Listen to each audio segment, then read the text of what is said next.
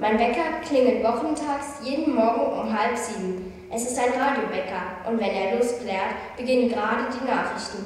Danach höre ich genau ein Lied, springe dann aus dem Bett direkt unter die Dusche. Zähne putzen und waschen, anziehen, Bett machen. Für alles brauche ich jeweils fünf Minuten, sodass ich fünf vor sieben beim Frühstück sitze. Selten, dass Sechsklässler die vorderen Plätze im Luckenwalder Kreistagssaal einnehmen.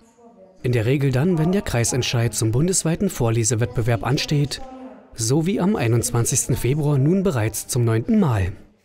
Zuerst sind ja die Schulentscheide in den Schulen des Landkreises, dann sind die Regionalentscheide in den einzelnen Bibliotheken des Landkreises und dann kommen die besten, wie gesagt, zu uns. Insgesamt zehn junge Vorleser waren im Kreishaus dabei, drei Jungen, sieben Mädchen. Im ersten Durchgang wurde ein Ausschnitt aus einem selbstgewählten Buch vorgelesen. In Runde 2 galt es, sich bei einem Fremdtext zu bewähren. Organisiert wird der Wettbewerb vom Börsenverein des deutschen Buchhandels.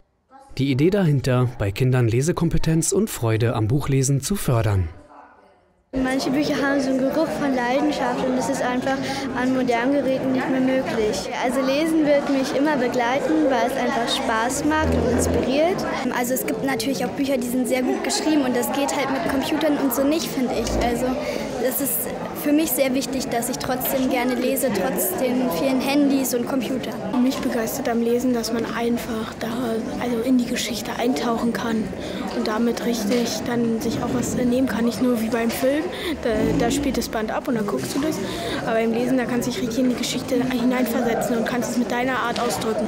Weil man dann auch so manchmal in einem anderen Leben, sag ich mal, drin ist und man kann sich in die Person dann hineinversetzen und ich, ich spiele natürlich trotzdem Nintendo oder Handy oder so, aber ich lese halt doch sehr gern. Wir unterhalten ja eine Fahrbibliothek für all die Kommunen, die über keine öffentliche Bibliothek verfügen. Und wenn man äh, mal schaut, dass über 20.000 Buchausleihen erfolgen im Jahr, äh, dann äh, nimmt man auch wahr, dass hier ein großer Bedarf ist, den wir unbedingt fördern wollen.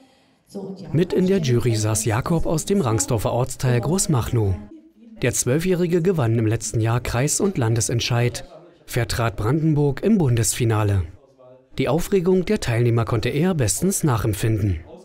Also es ist auf jeden Fall viel entspannter, als da vorne zu stehen. Und ich kann auch verstehen, wenn sie alle aufgeregt sind und dann so ein paar für Haspler bauen. Es, es kommt halt auch darauf an, wie sie sich in die Person reinversetzen und ähm, ob sie zu schnell lesen oder abgehackt oder langsam lesen, ruhig und betont.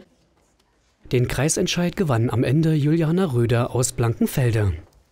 Die Elfjährige hatte nicht mit dem Sieg gerechnet, freute sich umso mehr darüber. Für sie geht es nun zum Landesentscheid nach Herzberg. Ich lese auch meistens schon Bücher, die eher für ein bisschen ältere Leute, ähm, Kinder gedacht sind. Es macht einfach Spaß, in andere Welten, sage ich mal, zu tauchen. Ich habe auch kein E-Book oder so. Ich finde dann, wenn man ein richtiges Buch in der Hand hält, ist es dann doch schon irgendwie was anderes.